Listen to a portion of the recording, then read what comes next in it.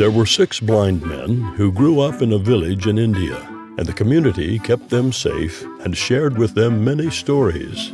The men were curious about many of the stories they heard, but they were most curious about elephants.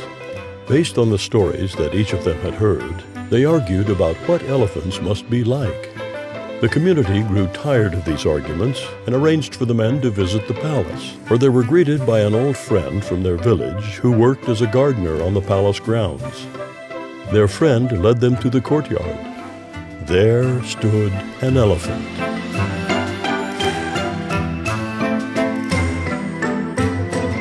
The blind men stepped forward to touch the creature that was the subject of so many arguments. The first blind man reached out and touched the side of the huge animal. An elephant is smooth and solid like a wall, he declared. It must be very powerful. The second blind man put his hand on the elephant's limber trunk. An elephant is like a giant snake, he announced. The third blind man felt the elephant's pointed tusk.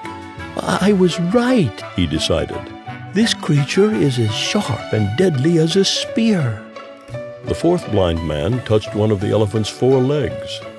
What we have here, he said, is an extremely large cow. The fifth blind man felt the elephant's giant ear.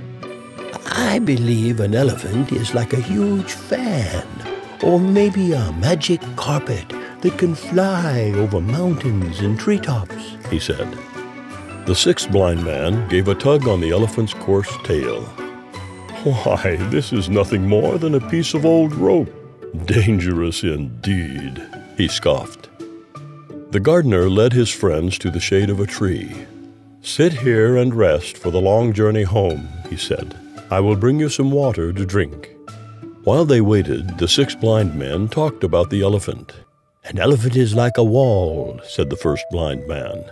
Surely we can finally agree on that. A wall?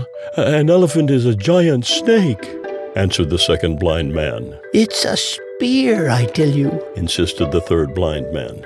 I'm certain it's a giant cow, said the fourth blind man. Magic carpet. There's no doubt, said the fifth blind man. Don't you see? pleaded the sixth blind man. Someone used a rope to trick us. Their argument continued, and their shouts grew louder and louder. Wall! Snake! Spear! Cow!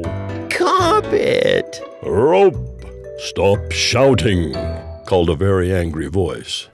It was the Rajah, awakened from his nap by the noisy argument. How can each of you be so certain you are right? asked the ruler. The six blind men considered the question, and then, knowing the Rajah to be a very wise man, they decided to say nothing at all. The elephant is a very large animal, said the Rajah kindly. Each man touched only one part. Perhaps if you put the parts together, you will see the truth.